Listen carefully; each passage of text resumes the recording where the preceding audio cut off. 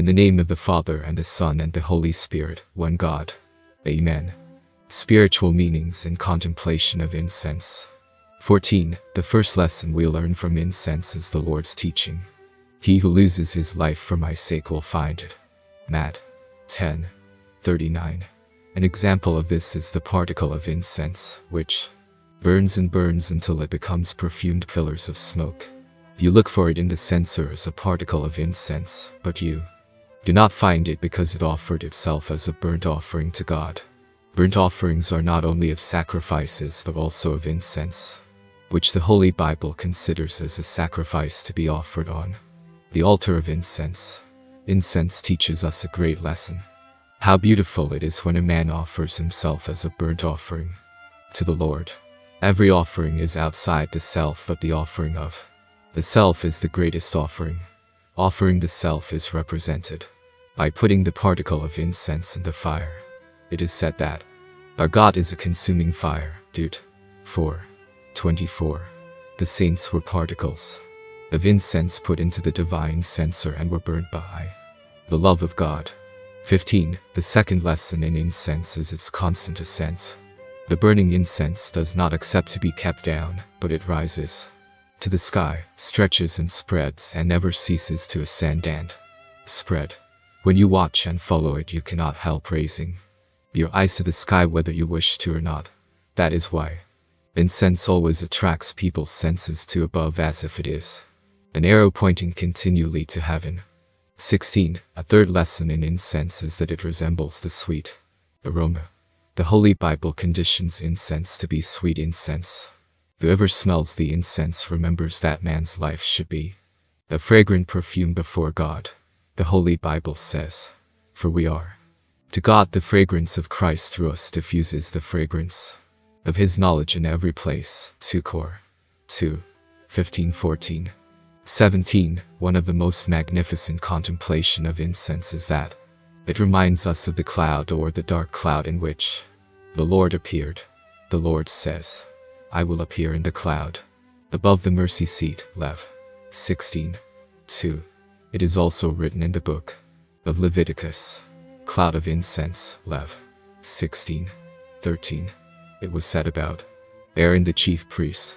Then he shall take a censer full of burning coals of fire from the altar before the Lord, with his hands full of sweet incense beaten fine, and bring it inside the veil and he shall put the incense on the fire before the Lord, that the cloud of incense may cover the mercy seat that is on the testimony, lest he die. Lev.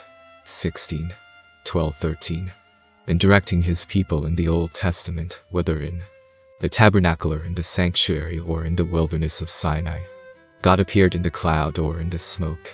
His guidance to the people in Sinai was in the form of an overshadowing cloud during the day, representing God who was overshadowing them. If the cloud moved, they knew that God was moving them so they moved. If the cloud settled, they settled. Num. 9. 17. Thus, it is written. And the cloud of the Lord was above them by day when they went out from the camp. Num. 10. 34. 18. When the Lord Jesus Christ came to Egypt it is said that he came on a cloud. Is 19. 1. The cloud was a symbol of the Virgin. It was an ascending fragrant incense. In Christ's second coming, he will also come on the clouds. Matt 24. 30. So, clouds represent the presence of the Lord in the Old Testament and in the New Testament. 19. The incident of the Transfiguration is an example of God's presence in clouds. It is written that while the Lord Jesus Christ was talking to the three disciples. The cloud came and overshadowed them, and they were fearful as they entered the cloud. Then a voice came out of the cloud, saying, This is my beloved Son. Hear him. LK 9 34 35 20 The Lord talked to Moses from a cloud. When the Lord spoke to Moses, the Holy Bible says, Then Moses went up into the mountain, and a cloud covered the mountain. Now the glory of the Lord rested on Mount Sinai, and the cloud covered it six days. And on the seventh day he called to Moses out of the midst of the cloud. X 24, 15, 16. The same happened when the Lord spoke to the people of Israel from the tabernacle. The cloud and smoke were overshadowing the tabernacle. 21. We see the same again in the consecration of Solomon's temple. The Holy Bible says, And it came to pass, when the priests came out of the holy place, that the cloud filled the house of the Lord, so that the priests could not continue ministering because of the cloud, for the glory of the Lord filled the house of the Lord. Then Solomon spoke. The Lord said he would dwell in the dark cloud 1 Kin 8, 10 to 12. 22. Incense represents clouds or dark clouds reminding us of God's presence and the glory of God. It is written, clouds and darkness surround him. P.S. 97. 2. Therefore, incense has numerous spiritual meanings for whoever wishes to benefit from it. It is a form of worship in itself. It was not connected with the Old Testament sacrifices, thus not necessitating its termination with that of those sacrifices. 23. Lastly, we say that there is not one single verse in the New Testament commanding the cancellation of incense. He who has an ear, let him hear what the Spirit says to the churches. Rev. 2. 7. 5. Lights and candles. The Orthodox Church is characterized by its lights. We use candles in our prayers during the Bible reading in front of the icons of the saints on the altar in the sanctuary in general, and in front of the altar on its eastern side and the church remains lighted constantly. Our brethren the Protestants do not use any of these rites despite their symbolic significance. In this brief article we will discuss the subject of lights in the church, the reason for using them and the spiritual meanings they carry. 1. The church itself is called in the Holy Bible the golden lampstand. This is clear from the book of Revelation. St. John, the visionary saw the Lord Jesus Christ in the midst of seven golden lampstands and the Lord said to him, The seven lampstands which you saw are the seven churches, Rev. 1. 20. 2. The church resembles heaven because it is the house of God, or God's dwelling place. This is nearly the expression used about the first house of God. Jacob the patriarch said, How awesome is this place! This is none other than the house of God, and this is the gate of heaven. Gen. 28. 17. Since the church resembles heaven, it must have lights to illuminate it like the stars of heaven.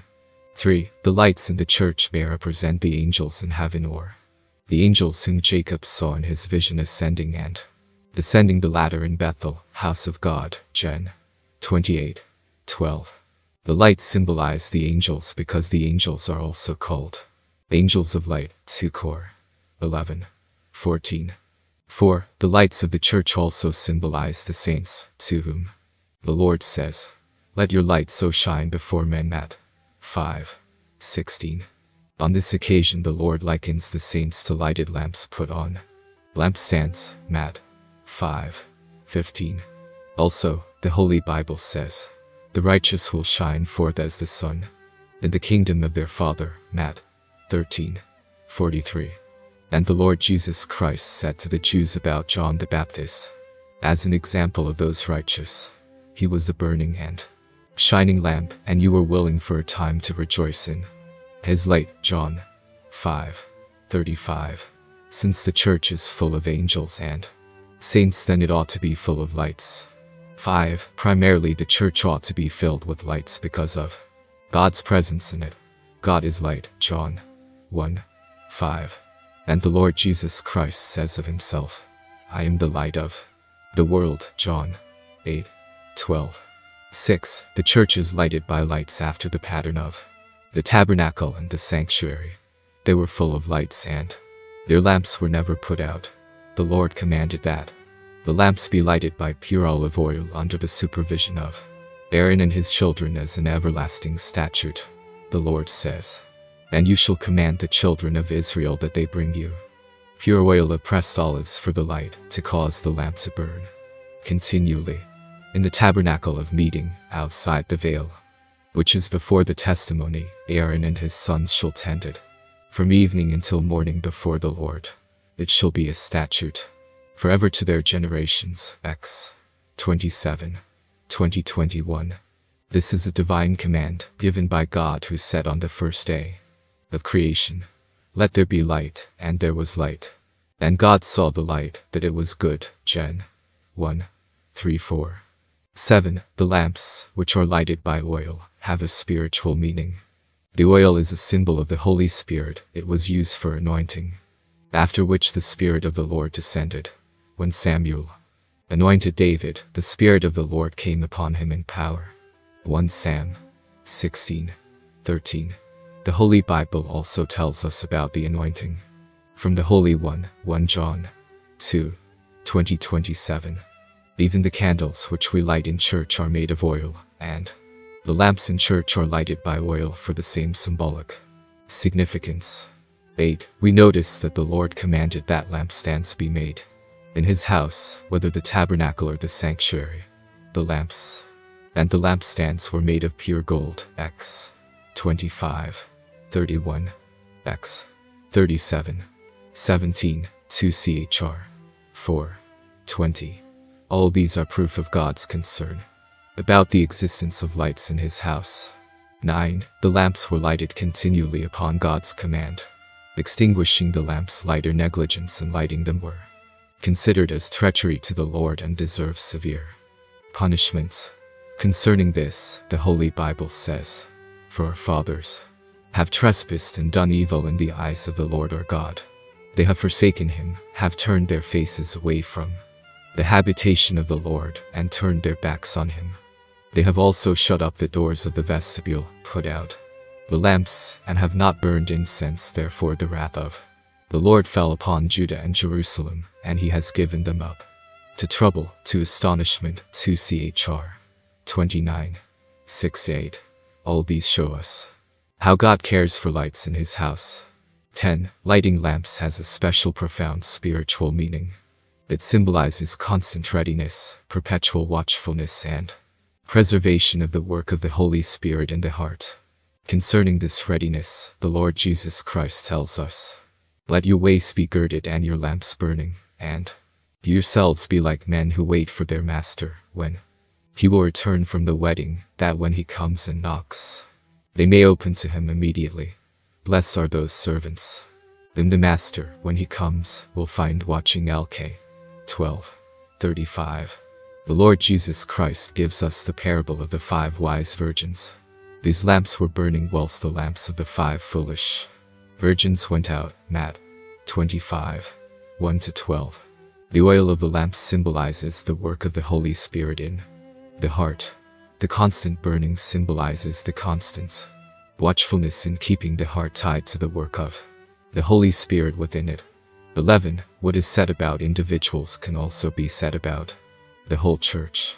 When people see the lights in church they are reminded of their duties in preserving the light inside them and that their lamps should be lighted continually. They remember that the church is one of the five wise virgins who kept their lamps lighted. 12. With regard to lighting candles during the gospel reading. This is undoubtedly better than reading the gospel without light. It reminds us of the verse. Your word is a lamp to my feet and a light to my path. P.S. 119, and also the commandment of the Lord is pure, enlightening the eyes. P.S. 19. 13. The early church, ever since the apostolic era, has given importance to lights and their symbols. The book of Acts tells us about the upper room from which St. Paul was preaching after the breaking of the bread. There were many lamps where they were gathered. Acts 20. 8. 14. The candles that we light before the saints' icons remind us that the saints were lights in their generations. They were like candles, melting in order that their light might shine before people.